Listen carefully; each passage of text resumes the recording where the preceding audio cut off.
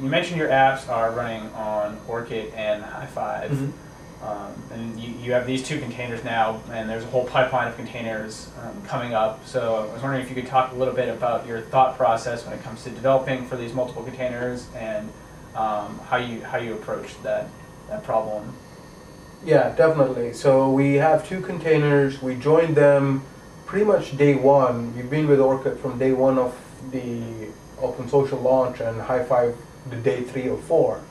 Um, and as I talked earlier, that we it was it's been fun growing with the containers. One thing I would ask developers is that it's hard to see your application not work, you know, standardized across containers. But what you have to remember is, much like us, the people who are developing these containers are humans too. There are errors, there is time it takes for them to fix them, and there is progressive improvement. And since this, um, the API is new and in flux and evolving, there is a lot of times, there will be a lot of times where you will fa- face um, frustration and different uh, implementations across containers. So plan for it ahead.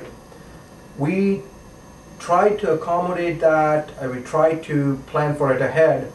Um, when things were starting out, we abstracted out some code, but now, and again, reached a point where our code became a medley. We did a lot of hot fixes and patches. Um, being a startup, we weren't, you know, as close to the process as we would have liked to be. But sometimes, you know, staying alive is a lot more important than holding on to process. But plan for these and expect these snafus to happen. You know, they will come and they will happen. Keep your calm and and, and you know, nothing beats getting something out there. Because if it's a success, you will always have chance to improve it later. You know, now we are at a place where we are talking about you know an open source effort to do a meta container, you know, a meta API, which will abstract out various implementation stages of various containers, enabling uh, developers to have a more standardized development uh, experience across containers. So this is something we learned through our process of developing for multiple containers and through their growing pains.